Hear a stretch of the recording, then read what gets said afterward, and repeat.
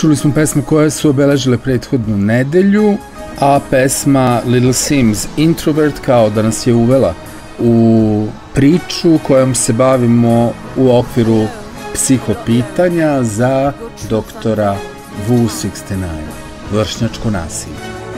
As you embark on a journey of what it takes to be a woman. Vršnjačko nasilje je generalno problem u čitavom svetu, znači na globalnom nivou, ne samo kod nas.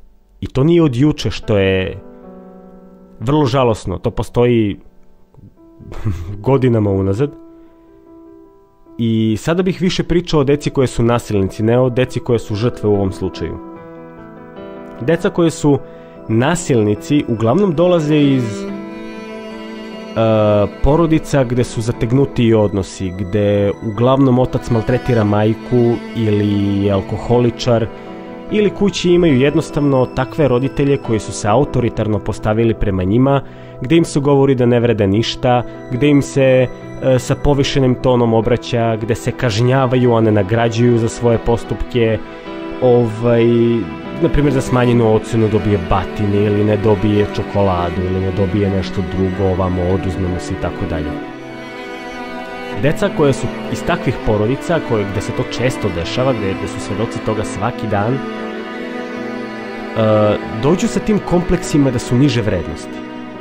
Oni dođu u školu iz te, sa, bukvalno iz te pozicije da oni ne vrede ništa, da od njih ništa nikada neće biti, da su oni ovakvi i onakvi jer to oni kući čuju.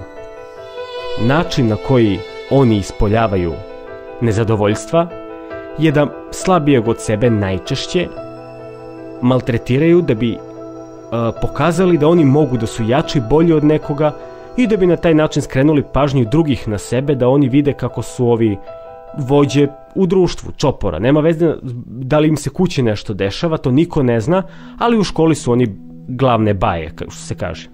Druga stvar je da deca svoje emocije pokazuju tako što reaguju. E, ne u smislu da razgovaraju sa nekim, da pričaju da im je teško i tako dalje, oni svoje emocije ispoljavaju na fizičkom planu. Tako da možete videti depresivnu decu koja najčešće u tinejdžerskom dobu ne pričaju nikome da su tužni šta osjećaju ili ne mogu kući roditeljima da pričaju pa se na primjer samo povređuju možete im videti ožiljke po rukama, ožiljke po nogama, gde god.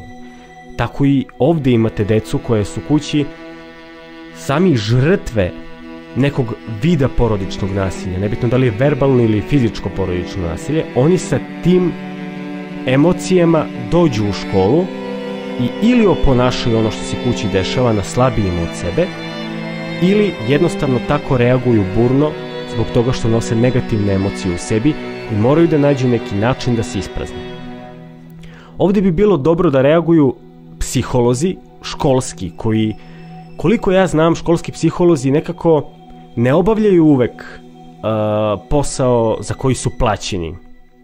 Bar ono što, ne, ne kažem svuda, ali znam dosta primera gde oni služe kao vid zastrašivanja, kada je neko dete, na primer, nestašno, uči, učitelj, nastavnik, profesor, kogod, ga pošalje kod psihologa kao neki vid kazne. Znači, idi kod psihologa sad jer si napravio to i to. Tu postoji veliki problem, jer psiholog treba da bude tu da bi savetovao, ne da se deca plaši njega. Drugo, ukoliko psiholog samo sluša i ne donosi konkretne neke stvari, ne radi konkretne stvari, na primjer da pozove roditelje na razgovor, da vidi iz kakve porodice to dete. Ako su stvarno užasni uslovi porodici, tu se kontaktira centar za socijalni rad, policija, šta god. Deca se plaše da odu kod psihologa i pričaju svoje svoje probleme i baš iz takvih razloga ja to skroz razumem jer će roditelji uh, biti pozvani na taj razgovor i, i roditelji deteta koji je žrtva i roditelji deteta koji je nasilnik. I onda će ta deca imati kući problem. Neće uvek imati možda problem deca žrtve sa roditeljima, ali mislim da se ovi koji su nasilnici takako plaše svojih roditelja njihovih reakcija, najčešće očeva, i da zbog takvih stvari ovaj, se nikome ne poveravaju jer znaju da će biti problema, naročito ne psihologu. Mislim da bi psiholog prvo individualno trebao da razgovara, da takva deca steknu poverenje u njega, da znaju iz nekog dogovora da se da nigde ta priča neće otići dalje ukoliko je moguće promeniti psihološko stanje deteta, da ne mora intervencija ta sa ove kod roditelja, da se zovu roditelji i tako dalje, ukoliko roditelji nisu toliko loši po dete, na primjer, ukoliko nisu nasilnici, već su samo tako na verbalnom nivou vrše nasilje. Ali zaista mislim da gde je fizičko nasilje u porodici, gde su alkoholičari, da za takve stvari treba zvati roditelje na razgovor, treba kontaktirati druge službe. Jer su takva deca pre svega isfrustrirana, puna kompleksa i, i tako dalje. Kada budemo rešili taj problem tog vaspitanja uh, kućnog, kad budemo rešili taj problem da dete nije igračka, rešit ćemo i problem nasilja u školama.